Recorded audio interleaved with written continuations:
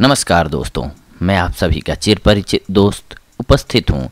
आप सभी की सेवा में एक बेहद ही महत्वपूर्ण जानकारी को लेकर के।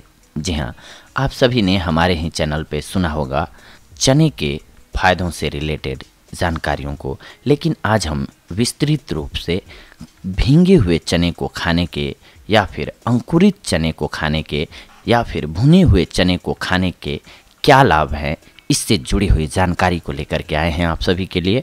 हमने ये प्रयोग उन लोगों पर किया जो रेगुलर चने खाते थे, मगर उनको इसके पूर्ण लाभ नहीं मिल रहा था। तो उनके सिर्फ़ उनके चने खाने के तरीके को बदल दिया तो वो लोग हैरान हो गए। जब उनको इस प्रकार से चने खाने के गज़ब के नतीजे मिले, आप भी जानिए, हम बता रहे हैं आपको कि किस प्रकार से चने को खाएँगे तो आपको क्या लाभ होगा। आयुर्वेद के अनुसार, चना खाने से आपका शरीर सिर्फ़ स्वस्थ ही नहीं, बल्कि बलवान और शक्तिशाली भी बनेगा।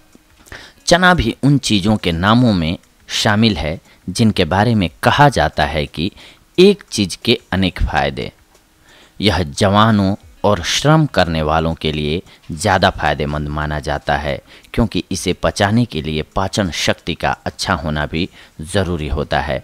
और दूसरा, इन दो तरह के व्यक्तियों को बल की ज़्यादा ज़रूरत पड़ती है। वैसे तो चना कैसे भी खाया जाए, फ़ायदेमंद सिद्ध होता है, लेकिन हम जो तरीका बता रहे हैं, विधि बता रहे हैं, अगर इस प्रकार से आप चने को खाते हैं तो इसका शत प्रतिशत लाभ आप उठा पाएँगे। सबसे पहले तो जानते हैं, भींगे हुए चने को खाने के फ़ायदे।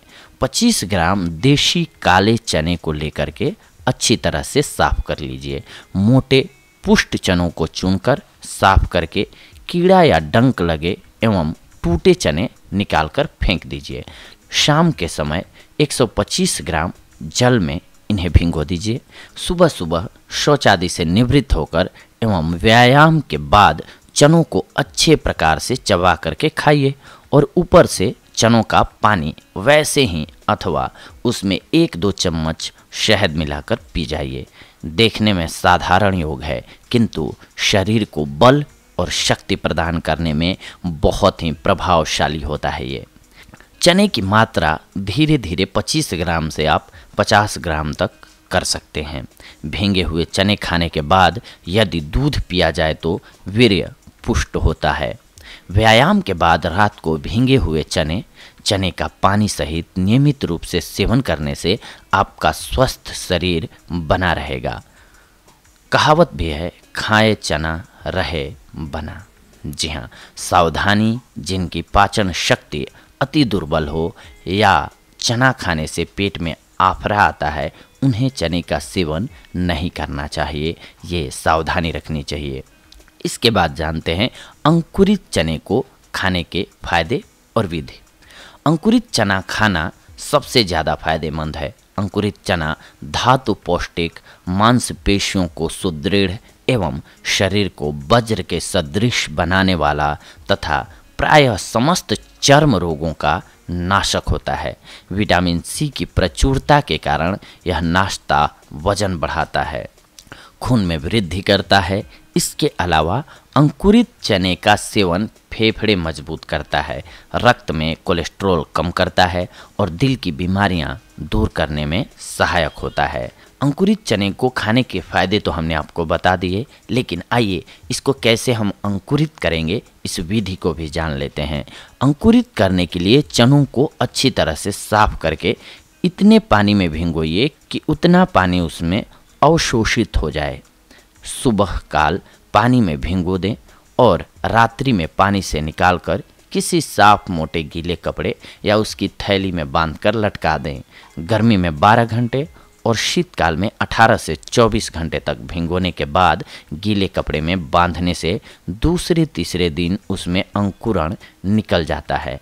गर्मी में थैली पर आवश्यकता अनुसार पानी छिड़कते रहना चाहिए। इस प्रकार चने अंकुरित हो जाएँगे और अंकुरित चने का नाश्ता एक उत्तम टॉनिक होता है। अंकुरित चने में कुछ लोग स्वाद के लिए पीसी हुई काली मिर्च, सेंधा नमक, अदरक की कुछ एक कतरन एवं नींबू की कुछ एक बूंदे भी मिला सकते हैं। परंतु आप यदि इन्हें बिना किसी मिलावट के खा सकते हैं तो सबसे ज़्यादा फ़ायदेमंद होता है ये।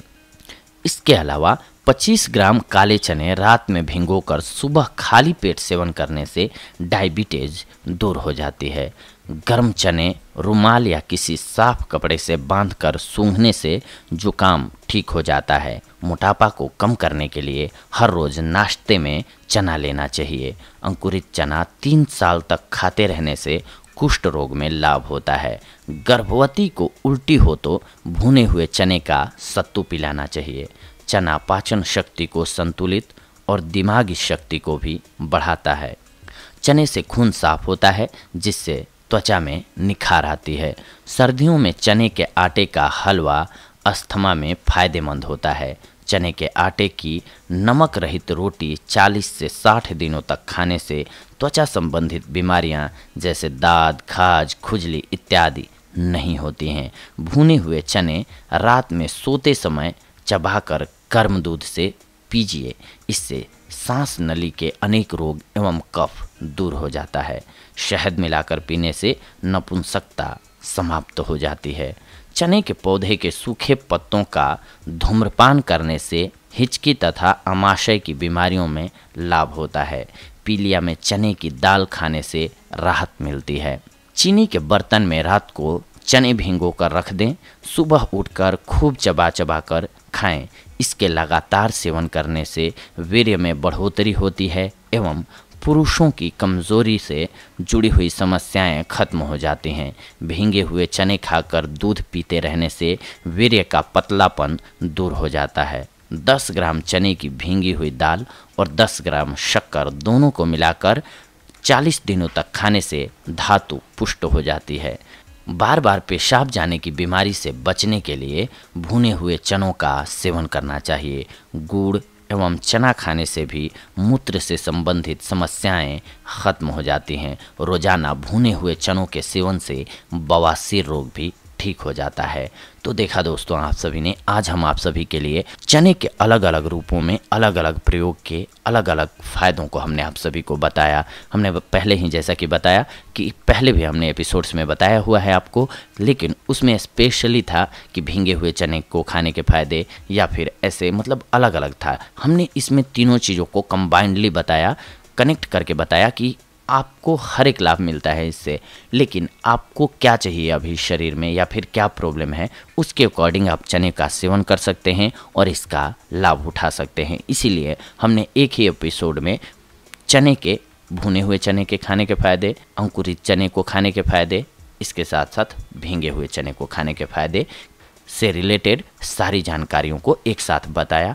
जिससे कि आप फ़ायदा ले पाएँ। इसके साथ साथ आपको एक बात का ख्याल ऑलवेज रखना चाहिए, क्योंकि हमारा स्वास्थ्य जो है, वो सबसे बेशकीमती धन है हमारे लिए। अगर हम स्वस्थ हैं तो दुनिया के हर एक चीज़ हमारे लिए खूबसूरत है। अगर हमारी बॉडी में कोई भी बीमारी घर कर जाती है, आ जाती है तो हमारे लिए दुनिया की सारी चीज़ें बेकार हो जाती हैं। इसीलिए सबसे पहले अपने शरीर को स्वस्थ रखना ज़रूरी है। इसके लिए आप उचित मात्रा में पानी का सेवन ज़रूर करें और इसके अलावा अपनी डाइट को ऑलवेज बैलेंस्ड रखें। अगर आप अपने खान पान में नियमित रूप से बदलाव करके हर एक चीज़ को शामिल कर रहे हैं, जो कि ज़रूरत होती है, जब शरीर में आपको पता चल रहा है कि मैंने लगातार बहुत दिनों से केवल मीठा मीठा खाना ही खाया है तो स्वाभाविक सी बात है कि जो आपको चाहिए होगा, विटामिन सी चाहिए होगा, वो नींबू से मिलेगा। आप केवल मीठा खा रहे हैं कुछ एक दिनों से लगातार तो उसकी कमी तो हो ही रही है शरीर में। इसीलिए अपनी डाइट को बैलेंस रखना ज़रूरी है। सुबह से शाम तक के खाने में ऐसा प्लान बनाएँ या डाइट चार्ट बनाएँ जिसमें कि हर एक चीज़ शामिल हो, जिससे आप स्वस्थ रह सकें या आपको स्वस्थ रहने में मदद मिल सके। अगर आपको ये एपिसोड अच्छा लगे तो ज़रूर कमेंट बॉक्स में कमेंट कर सकते हैं। आप हमें सुझाव भी दे सकते हैं, या फिर आपकी कोई राय है, वो रख सकते हैं। और अगर आपके कोई दोस्त हों, मित्र हों, जिनको लगे आपको कि इसकी जानकारी होनी चाहिए, उनको शेयर भी कर सकते हैं। लाइक एंड चैनल को सब्सक्राइब भी आप कर सकते हैं। नए वीडियोस देखने के लिए या फिर नई जानकारियों को प्राप्त करने के लिए। तो ये थी आज की हमारी जानकारी आप सभी के लिए। अगले एपिसोड में हम आप सभी के साथ जुड़ेंगे। एक और बेहद ही महत्वपूर्ण जानकारी को लेकर के। तब तक के लिए धन्यवाद। नमस्कार दोस्तों।